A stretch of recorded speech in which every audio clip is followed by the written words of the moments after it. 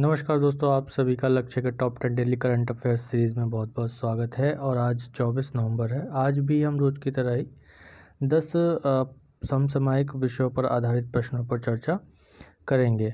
तो इस वीडियो की पीडीएफ फ़ाइल के लिए आप हमें टेलीग्राम पर फॉलो कर सकते हैं और ये वीडियो को पूरा देखें। वीडियो आप लोगों को अच्छी लगे तो ज़्यादा ज़्यादा शेयर करें अपने दोस्तों में और सब्सक्राइब करना ना भूलें। सब्सक्राइब करने के बाद बेल आइकन को प्रेस ज़रूर करें ताकि हमारी वीडियो की नोटिफिकेशन आप तक सबसे पहले पहुँच सके।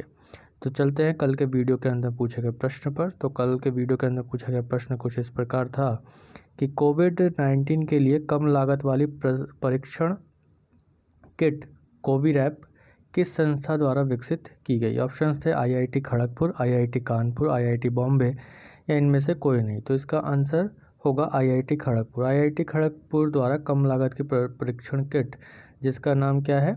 कोवी रैप को विकसित किया गया।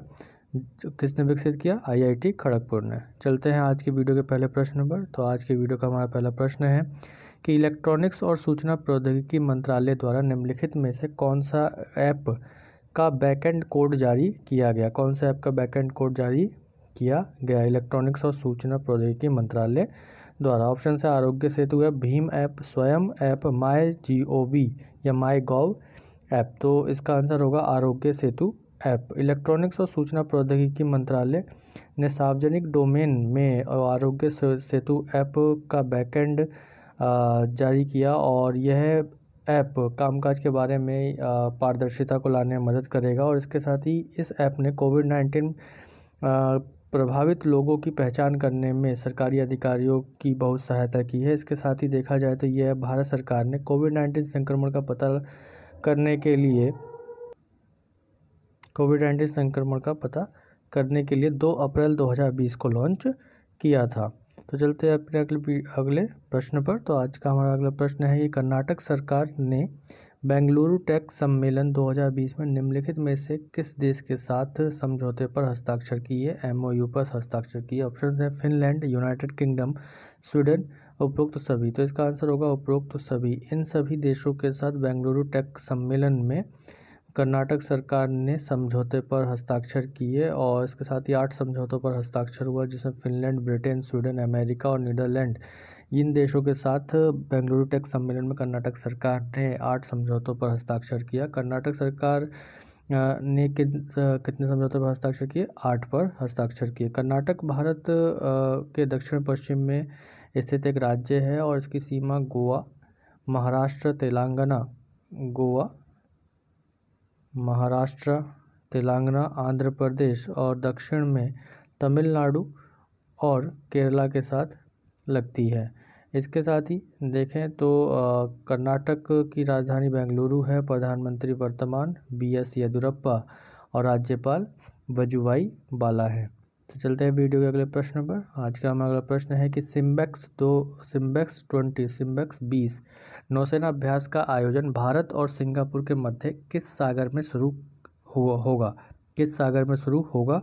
ऑप्शंस हैं अरब सागर, जावा सागर, अंडमान सागर और बंगाल की खाड़ी। तो इसका आंसर होगा अंडमान सागर। अंडमान सागर में सिम्बेक्स ट्वेंटी का आयोजन तेईस से पच्चीस नवंबर के बीच चलेगा अंडमान सागर में सिम्बेक्स ट्वेंटी का, भारत और सिंगापुर के बीच में। अभी इसके साथ ही सिटमैक्स ट्वेंटी अभ्यास 22 नवंबर को अंडमान सागर में संपन्न हो चुका है, जिसमें भारत, थाईलैंड और सिंगापुर की नौसेनाओं के भी मध्य यह अभ्यास चल रहा था। सिट मैक्स किन के बीच है? भारत, थाईलैंड और सिंगापुर के बीच है और सिम्बैक्स जो है, भारत और सिंगापुर के बीच में ये अभ्यास है और ये दोनों ही अभ्यासों का आयोजन अंडमान सागर में हुआ है।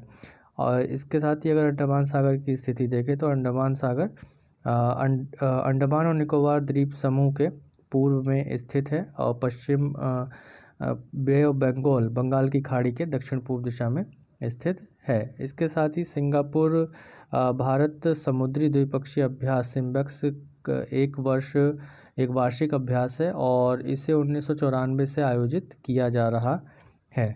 चलते अगले प्रश्न पर। भारत जी ट्वेंटी शिखर सम्मेलन की मेज़बानी किस वर्ष करेगा? भारत जी ट्वेंटी शिखर सम्मेलन की मेज़बानी किस वर्ष करेगा? ऑप्शन है वर्ष 2021, 2022, 2023 और 2024 तो इसका आंसर होगा तेईस। जी ट्वेंटी नेताओं ने घोषणा की है कि भारत 2023 में जी ट्वेंटी शिखर सम्मेलन की मेज़बानी करेगा। 2020 में जी ट्वेंटी शिखर सम्मेलन की मेज़बानी सऊदी अरब द्वारा की जा रही है और इसके साथ ही अगर देखें तो 2021 में इटली 2022 में इंडोनेशिया और 2024 में ब्राज़ील द्वारा जी ट्वेंटी शिखर सम्मेलन की मेज़बानी की जाएगी। जी ट्वेंटी शिखर सम्मेलन की स्थापना उन्नीस सौ निन्यानवे में सात देशों, America, Canada, Britain, Germany, Japan, France और इटली के विदेश मंत्रियों के नेतृत्व में की गई थी। जी ट्वेंटी समूह अंतर्राष्ट्रीय आर्थिक सहयोग का एक मंच है और जी ट्वेंटी समूह प्रत्येक महाद्वीप के विकास, विकसित और विकासशील देशों के नेताओं को एक साथ एक मंच पर लेकर आता है। चौदह से पंद्रह नवंबर 2008 को जी ट्वेंटी समूह का पहला शिखर सम्मेलन वॉशिंगटन डीसी में आयोजित किया गया था। वॉशिंगटन डीसी में आयोजित किया गया था। पहला जो सम्मेलन था इसका 2008 में आयोजित किया गया था, परंतु इसकी जो स्थापना है वो उन्नीस निन्यानवे में सात देशों के द्वारा की गई थी, विदेश मंत्रियों के द्वारा की गई थी। यह एक मंच है, इसी के कारण इसका कोई मुख्यालय, स्थायी मुख्यालय नहीं है।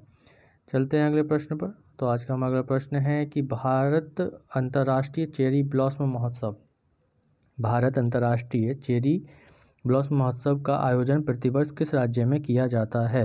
असम, केरल, मेघालय, नागालैंड। तो इसका आंसर होगा मेघालय। शिलोंग में आयोजित होने वाले India international cherry blossom festival को अभी कोविड महामारी के कारण रद्द कर दिया गया और इस महोत्सव का आयोजन मेघालय सरकार द्वारा हर साल पूर्वी खासी पहाड़ियों और शिलोंग में हिमालय चेरी ब्लॉसम के मध्य नज़र किया जाता है। भारत, यह भारत के शरद ऋतु के संस्करण की शुरुआत के रूप में स्थानीय लोगों द्वारा मनाया जाता है। Cherry blossom, genus genus, Prunus के कई पेड़ों के फूल हैं और इनको आप इस चित्र में देख सकते हैं कि जीनस प्रूनस के फूल हैं और ये चेरी ब्लॉसम के रूप में इन्हीं को जाना जाता है।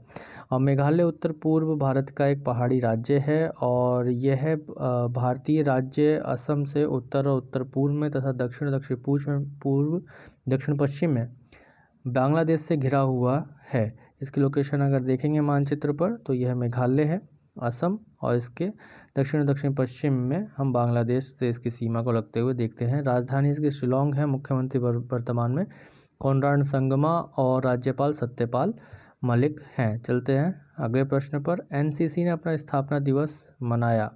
एनसीसी ने अपना स्थापना दिवस मनाया 21 नवंबर 22 नवंबर 23 नवंबर या 24 नवंबर? तो इसका आंसर होगा 22 नवंबर। 22 नवंबर को एनसीसी ने, यानी नेशनल क्रेडिट कोर ने अपना बहत्तरवा स्थापना दिवस मनाया और इसकी शुरुआत दिल्ली में राष्ट्रीय युद्ध स्मारक को श्रद्धांजलि देकर हुई।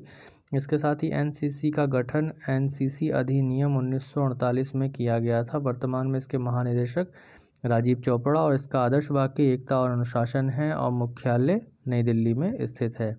अगला प्रश्न है हमारा कि हाल ही में किसे वर्ष 2020 के आदित्य विक्रम बिरला कला शिखर पुरस्कार से सम्मानित किया गया है? आदित्य विक्रम बिरला कला शिखर पुरस्कार से सम्मानित किया गया है। ऑप्शन है अमिताभ बच्चन। नसीरुद्दीन शाह रणवीर सिंह, वरुण धवन। तो इसका आंसर होगा नसीरुद्दीन शाह।